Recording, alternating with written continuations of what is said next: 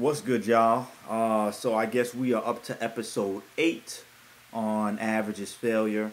Um, one of the things that I really wanted to talk to you all about this episode, I just wanted to. So there's a lot of information, and I think society has tripped us up quite a bit in making us think that uh, greatness and success is all about being extraordinary um, and I'm going to challenge that. I'm going to challenge that idea uh, quite a, a, a, little bit uh, in saying that most success and most, when we talk about greatness, is probably not really in the um, the the extra extraordinary, truthfully. Um, but what, think about it.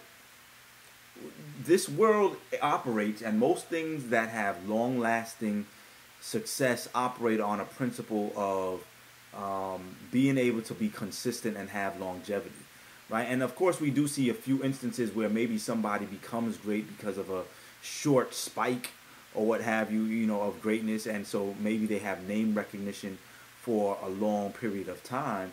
But I think that the people who really make an impact um, and who, uh, you know, build things that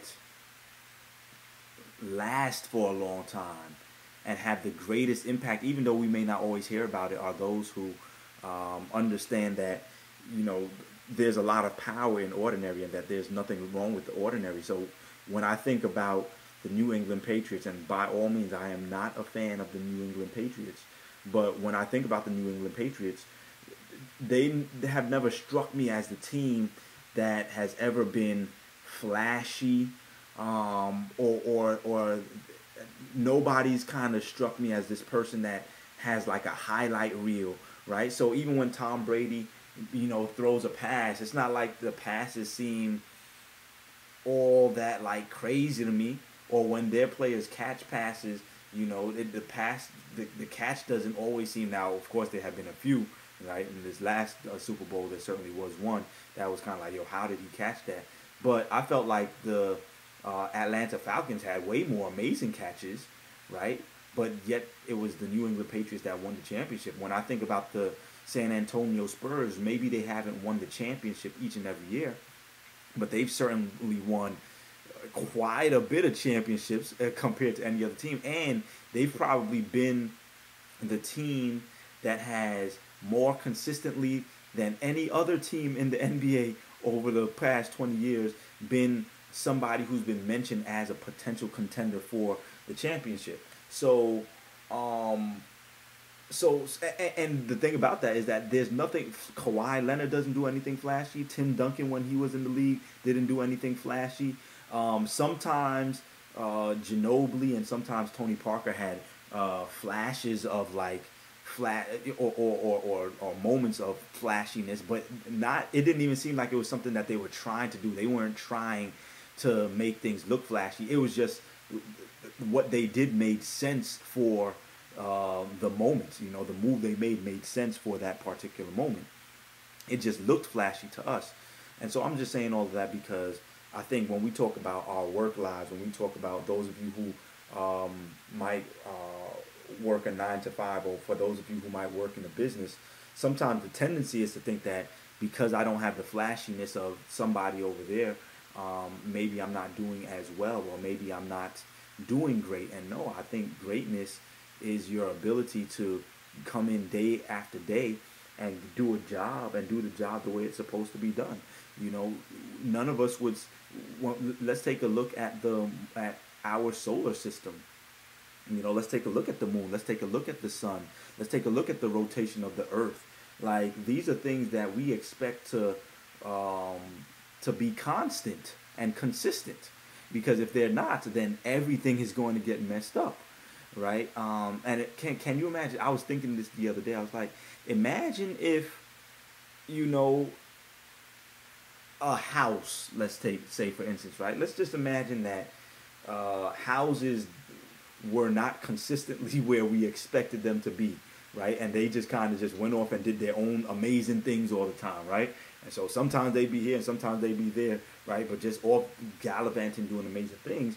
We'd all just be like, yo, like, what is going on here, right? Now, of course, when we talk about ordinary, now sometimes you can find to be great at the ordinary, or you can make ordinary things great. So think about it. Kobe Bryant, Michael Jordan, LeBron James, Steph Curry, uh, Kevin Durant. There are a bunch of guys who are able to do the simple thing in the NBA of hitting a shot, right? It's ordinary. I can hit a shot. You know, people all around the world can hit a shot. But what's made them great is that they've practiced this ordinary thing really so much that it's become extraordinary. The, the level at, or, or let me say, the consistency with which they're able to do something ordinary has um, become amazing, right? When I think about some of my favorite mu- musicians, uh, Thomas Pridgen, um, uh, Tony Royster, um, um, Ronald Bruner Jr., and many others, you know, their ability to play drums, they're not doing it. Almost anybody in the world can take a stick and hit a drum, right? But the consistency with which they're able to do do it, you know, um, and it just far surpasses what any of the rest of us uh, think, right? And then they put it together, and because they're able to be consistent, they can do it faster and faster and and uh, and and, uh, and make it a bit more tricky. But when it comes down to it, it's just ordinary mo- movement of hitting a stick, right? So um, I'm gonna leave it there, man. Just think about what that means for you on the job. Think about what that means for you in your business. How can you be? How can you just uh, become very consistent at doing the ordinary things, and and then be so consistent with it and so um, excellent with it that without even realizing it, you become great at it. All right.